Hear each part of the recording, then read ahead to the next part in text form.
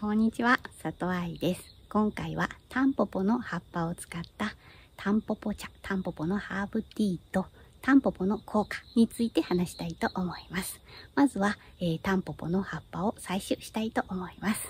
このタンポポの綿毛から種を取って育てたのがこのタンポポなんですね。お茶にするので硬いところでも大丈夫です。生のままサラダに使うときは柔らかめの方がいいんですけど、タンポポの葉っぱ、こんな感じですね。はい、今回はこれくらい採集しました。これを今から部屋に戻ってきれいに洗いたいと思います。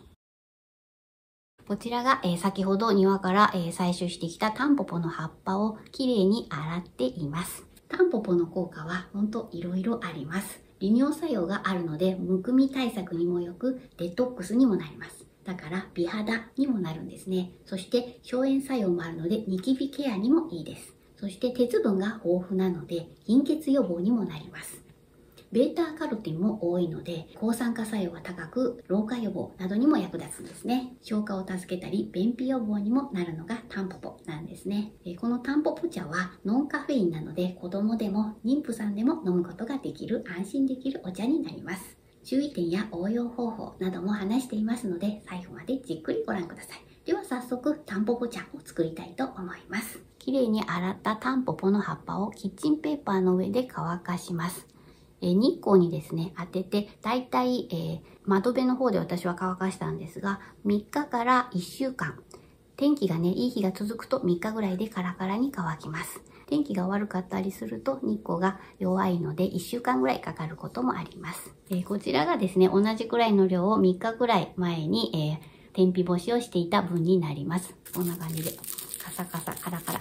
こんな感じになったら、えー、お茶にすることができます。1回で全部だとちょっと多いので、だいたいですね、丸めてみて、小さじ1杯くらいですかね。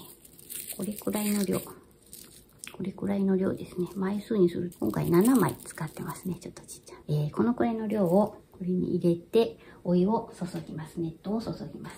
だいたい 200cc ぐらいですね。こうさっきの量で。はい、えー、入れたら蓋をして、約3分間ですね、そのままにします。蒸らします。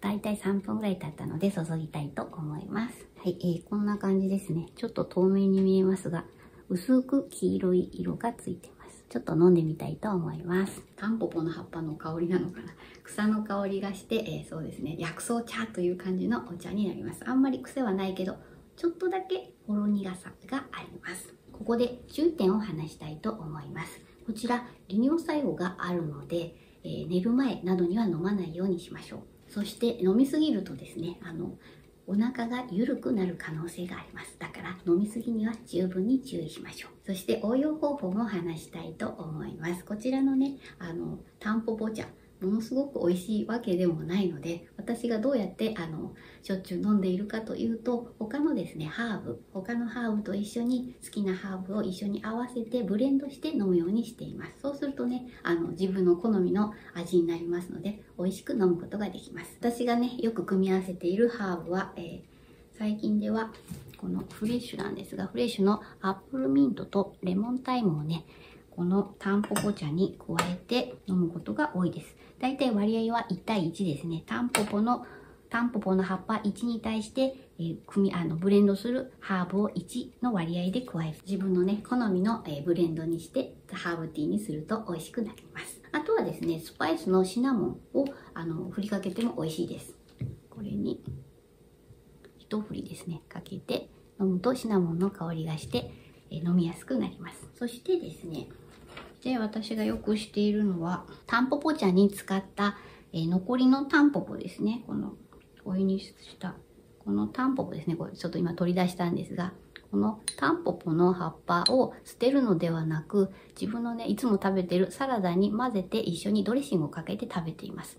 え、ー、と、タンポポは生の葉っぱをサラダにしてもいいんですが、そのままだとすごく苦いんですね。だけど、このお茶に使った後だとちょっとエキスが抜けてて乾燥もしてますしマイルド苦味がマイルドになってますだから、えー、食べやすくなってます、はい、好きなねドレッシングをかけて食べると案外美味しいです硬い時は、えーと、刻んでねあの食べると美味しくできますタンポポ茶はとっても簡単にできて健康にとてもいいのでぜひ作って飲んでみてください。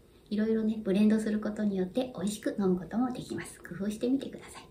タンポポのもっと詳しい効果については、ブログ記事の方に書いています。概要欄で案内していますので、興味がある方はご覧になってみてください。あなたの健康ライフを応援しています。ご意見やご感想などありましたら、コメント欄までお願いします。最後までご視聴ありがとうございます。